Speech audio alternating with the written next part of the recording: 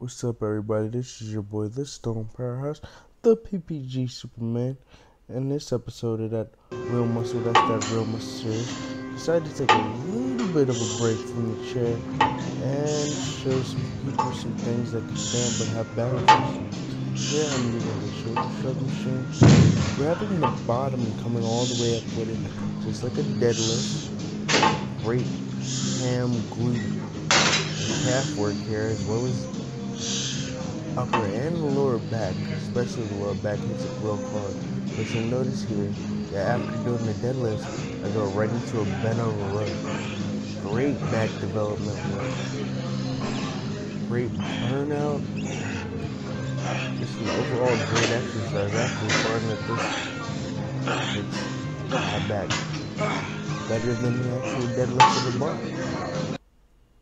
Until next time, this has been your boy, the Stone Powerhouse the PPG Superman. This has been WheelMuscle. That's that real muscle. Till next time. Peace.